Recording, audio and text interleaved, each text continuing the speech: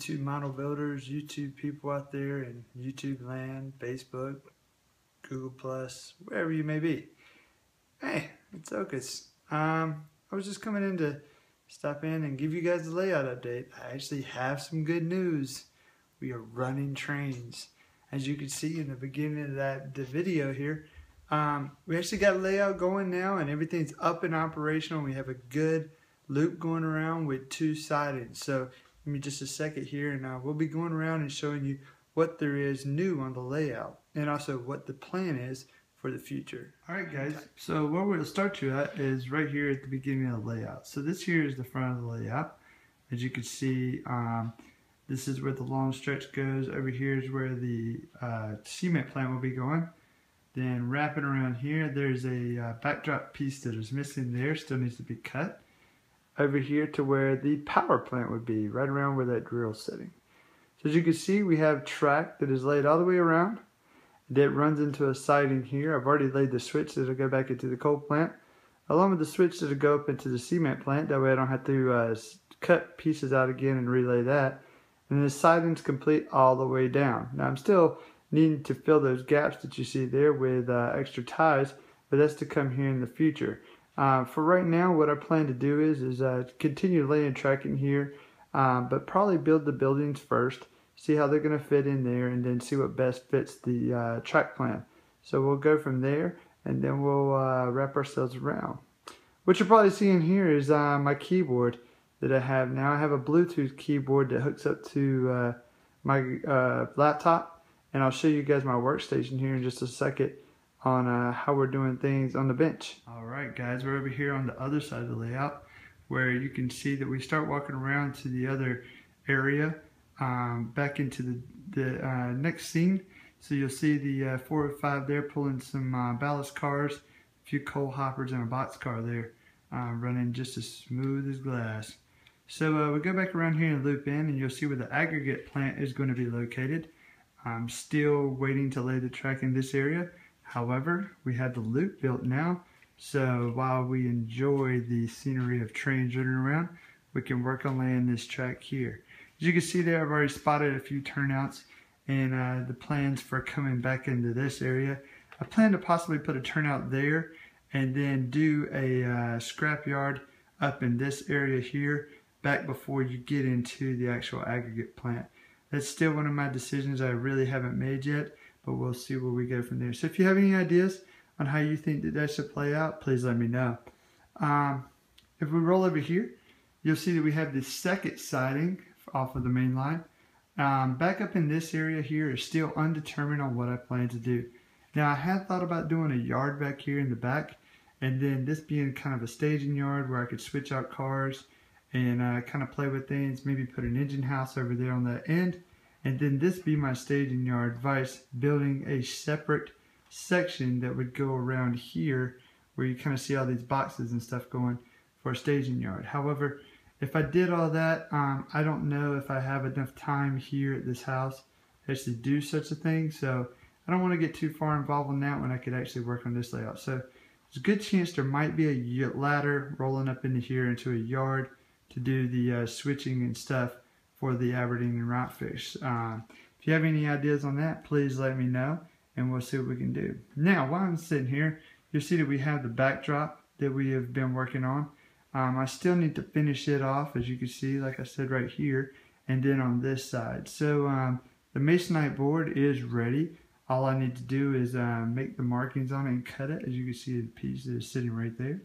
Um, I watched a video from Miles um, that he put up that said don't use masonite due to the fact of the joints and stuff are hard to uh, seam together. I thought about it and I said, you know, Miles, that makes perfect sense to use the Luan. Um, however, this layout has got to be portable. So the break in my joints for my backdrop is going to have to stay. I can't fill it in with putty anyway.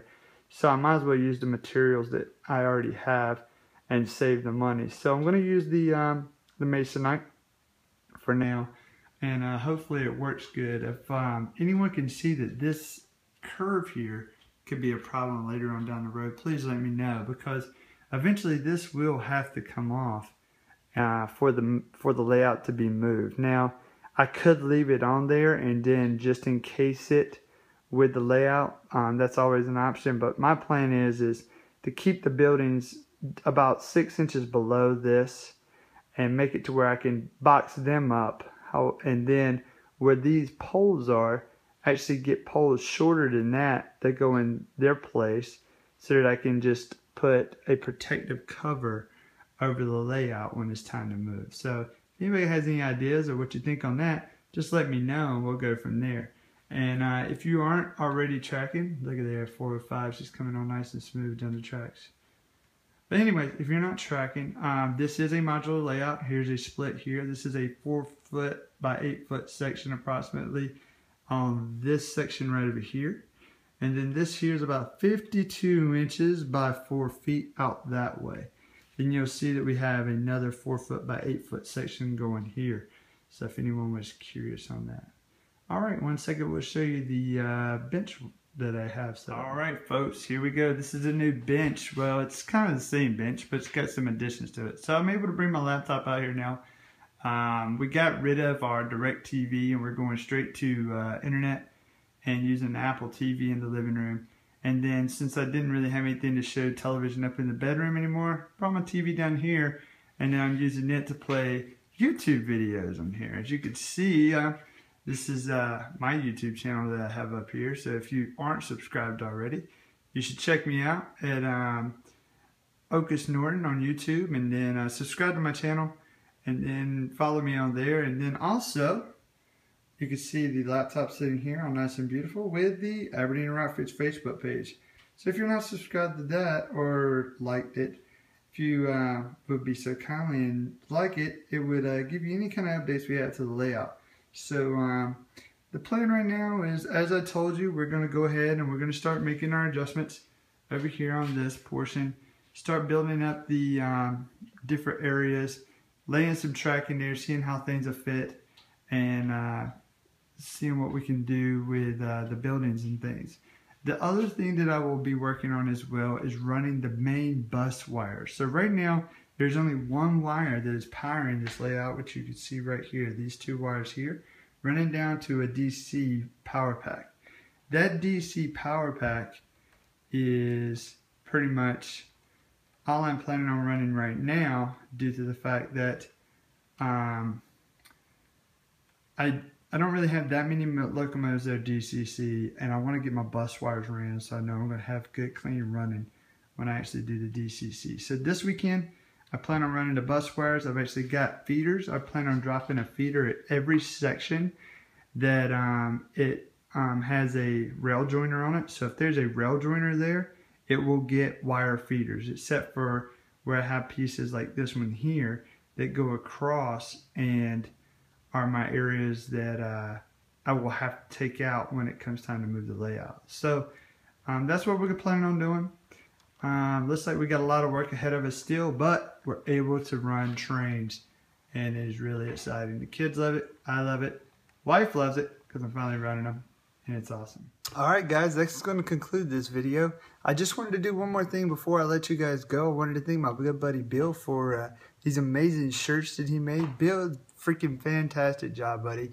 Uh, we got these shirts in to a lot of guys out there in the YouTube model builder community and uh, wearing those in and supporting the hobby and supporting the uh, YouTube model builders page. If you haven't been already, go to YouTube, YouTube modelbuilders.com and enjoy that website. We have some uh, Google Hangouts that go uh, twice a week.